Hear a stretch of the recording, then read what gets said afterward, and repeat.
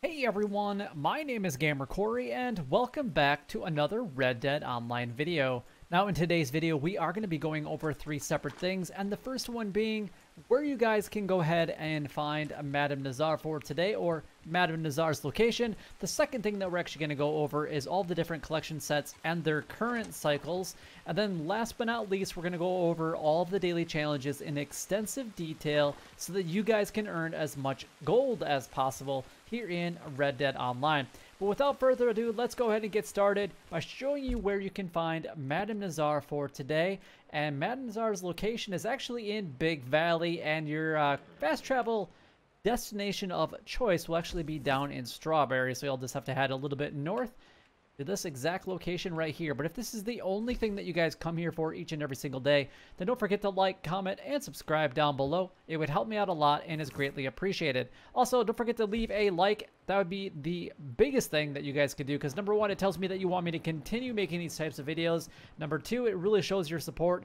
And number three, if it helped you out, it could help out somebody else because that's how YouTube promotes these videos is by showing your likes uh, on these videos and it could be pushed out to somebody else that is looking for the exact same thing that you guys once were. All right, so Little Creek River is where you guys can go ahead and find Madam Nazar. Let's go to move on to the next thing, and that's going to be talking about the different collection sets and their current cycles. Now, just keep in mind that each and every single day these do change at 8 p.m. Eastern Standard Time. So if you guys are looking at this video after that time frame, then there's a good chance, there, no, it's a 100% chance that it will have changed already after 8 o'clock Eastern Standard Time. Now, if you guys are watching that, you're going to have to wait until the update comes out when Madam Nazar changes, and same thing with the daily challenges, because that's when I do the update videos.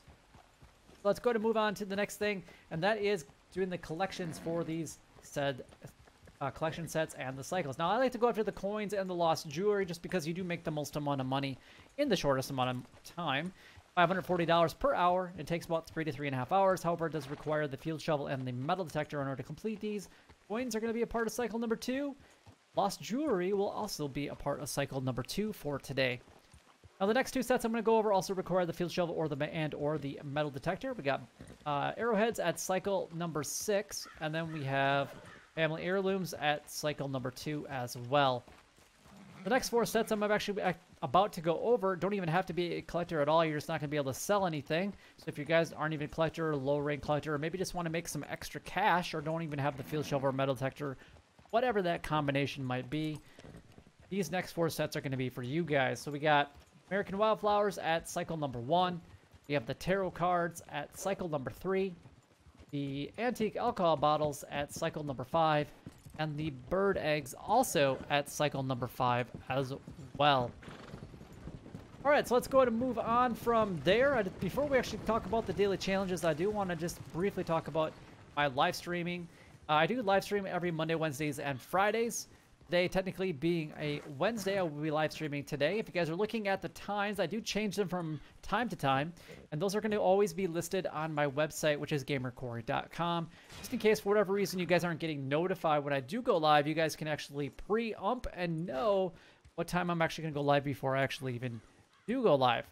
So there's always that. I always update it about the day before, so if it's a Monday, I'm always going to update it on Sunday. If it's on um, a Wednesday, always update it on Tuesday. Same thing with Friday. It's always the day before, so you guys are always going to guarantee that whenever you check on the day of, you'll have no problem with getting it. It's always the afternoon for me, so you're always looking at 1 o'clock or later for the most part. All right, so I also have memberships here on the channel. So if you guys are looking to further support me as a content creator, which would be very much appreciated, uh, do definitely do that. You guys have perks and benefits from doing that. I do have private servers for other games. So if you guys want to join in and play with me one-on-one, -on -one, definitely look into the memberships as that will definitely give you an opportunity to do so um, if you guys are looking to do that. And it, honestly, it supports me so that I can continue making these types of videos for you guys in the near future. All right, so let's go ahead and break down the daily challenges. We're going to quickly go over the list. We got three cooked season flaky fish. We have two gang hideouts cleared. We have two or five non-player enemies killed while in cover. 20 non-player enemies looted. Five perch caught. Five vanilla flowers picked. One visited Bulger Glade. Uh, we have one completed special moonshine recipe. Two moonshine bar, dance for two minutes. One moonshine sold with at least 18 bottles intact, three camp stews eaten, 20 donations to Cripps, two resupply missions completed, three coins found, three collectibles sold to Madam Nazar, three collector maps used, one bounty hunt completed with five minutes or more left, three bounty or three eagle eye to use to track a bounty target, and then last but not least, a hard or legendary bounty mission completed. All right, let's go and break these down.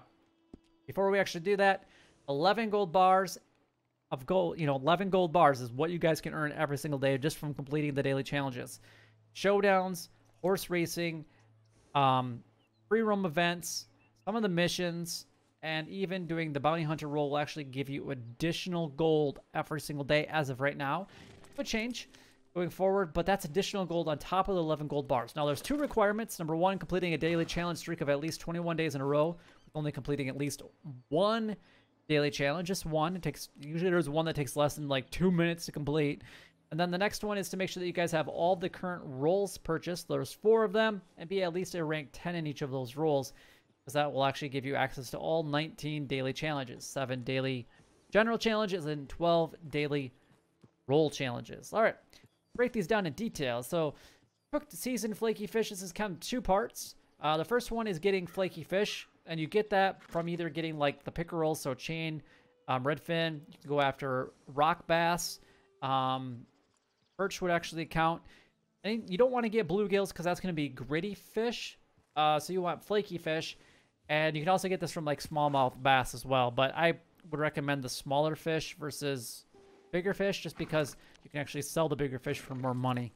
Um, and then you bake you break them down. So whatever fish you have in your in your uh, satchel. So if we actually go into our satchel, I can actually quickly show you guys this. Uh, we just go over to find our fish here. Uh, don't do bluegill, but uh, do I have any? Oh yeah, here we go. Redfin pickerel. We can break that down, and you guys are going to see them. They get flaky fish meat. There we go. So then at that point, you need to find herbs. Uh, so thyme, oregano, or mint. And then you're going to have to pick three of those. And then you're going to combine three fish meat with three seasoning at any campfire. It could be at your camp. It could be at Valentine. It could be in Santony. Wherever there's a campfire is going to be just fine. That's kind of a couple different parts there. Next one on the list is two gang hideouts cleared. Um, I'm going to show you guys the circle that I like to use if we were doing this. Unfortunately, the bootlegger missions don't count, but starting at Twin Rocks here, this is uh, one location for a gang hideout. Another one is Rattlesnake something or another. It's right about here.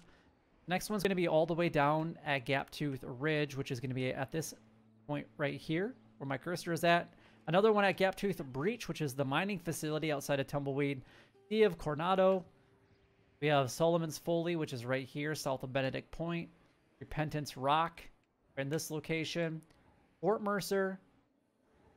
Jorge's Gap, pretty much right on the U. And then you guys can keep repeating that pattern until you guys get your two gang hideouts cleared. That's the best one to go in because it has the most, and it's literally it's literally just a big circle, which is fantastic. Five non-player enemies killed while in cover. Just you hide behind a rock, a tree, get them mad at you. You could uh, do this down at these landing. You could do this with a bootlegger mission, kind of like I have really close to me. You could do these, this even with a gang hideout. Whatever method that you guys prefer, just get in cover with non-player enemies. Now, the next one is to loot 20 non-player enemies. So you're going to have to kill more than just the five. So, like, doing the gang hideouts and like the bootlegger missions, so they all kind of go together today, which is pretty fantastic. So if you guys got two gang hideouts, you should easily get five non-player enemies killed while on cover, and then loot all of them. All three of those can be done by the two gang hideouts that you guys clear. But if you can't find gang hideouts, completely understand that, because I haven't had one pop up in quite some time. next one on the list is to catch five perch. Now I'm gonna show you guys the couple different locations that I like to go to. I'm gonna give you guys three. Number one, up here at Windward Strait, you can actually find them up here. You can find more at Cocktail or Cattail Pond, not Cocktail. Apparently, I need one right now.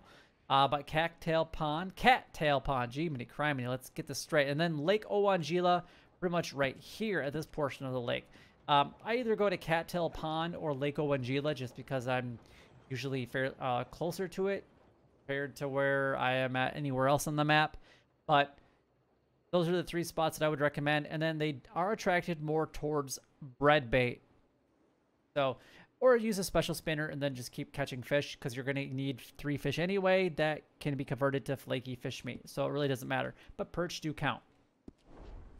And then next one on our list is to have five vanilla flowers picked. So let's go ahead and break these down. I'm going to do this actually in the bayou is where I'm going to do these at. Specifically right in this area. If you have the Moonshine Shack right here, there's a couple really close. There's one right about here. There's one right here. One right above the B. We come inland a little bit more. We have another one right here.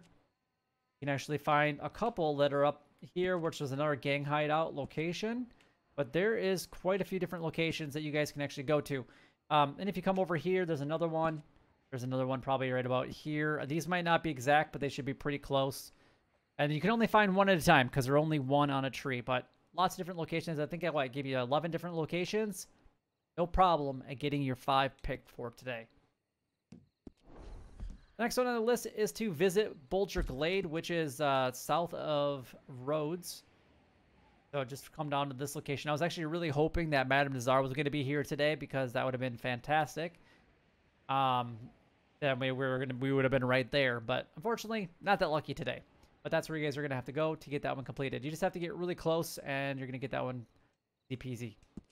The next one, not going into the map, go back to the daily challenges. We've got the roll challenges. We got complete a special moonshine, which is going to be the Argorated Creek Plum or Caribbean Rum. As long as you start it, that's going to complete it. If you already have one brewing, then you're going to have to wait for this one to be completed, especially if it's one of those three, and then you're going to have to start it if it's not. But you just have to get it started to really get it, um, to get that one completed. Next one is to dance for two minutes, two times. So it's a dance for a total of four minutes. You will re be required to hold down a button. Whatever dance style that you guys have is going to be just fine. Just hold down the button. Easy peasy. Next one is to deliver Moonshine Soul with at least 18 bottles intact. Basically, just be as careful as you possibly can. Anytime that you destroy one bottle, it's going to be a significant loss in profit anyway. But at least you don't have to pay for mesh this week, so that always helps out. Three camp stews eaten. So if you guys are going to do your cooking of your fish, as cooking seasoned uh, flaky fish at your camp, then you might as well eat your camp stews, as long as you have the stew pot is anyway. If you don't have it and have enough money, purchase it because this one does pop up quite a bit, and it's free way to get core um, maintained. So I like it. It's free, and you can always eat the base quality stew. You don't even have to add anything to the stew pot. 20 donation, donation, oh my gosh, 20 donations to Cripps today. I like to do feathers. It's the best and easiest one in my opinion. Uh, we've got two resupply missions completed. Now, they are free this week, so is it really worth it even doing them today? It's up to you. I'll leave that up to you guys if you want the 0.5 gold. If you guys are going to do these, you will have to wait like 20 minutes to half an hour between each of the resupply missions. We got three coins found, three collectibles sold to Madam Nazar, and three collector maps used. So I'd use your collector map in order to get that those coins. But again, coins are going to be a part of cycle number two. And then you're going to want to make sure that you guys go to Madam Nazar directly, sell anything as far as the sets or maybe the three coins or whatever it might be for today. Because if you sell a full set via the post office, it's not going to count for collectibles sold to Madame Nazar. Again, She's located in Big Valley. Your quickest fast travel location will be in Strawberry. Doesn't matter what collector maps you use, just use any. You don't even actually have to collect anything if you don't want to, just use them. And then you're to have to probably rebuy them from Madam Nazar anyway.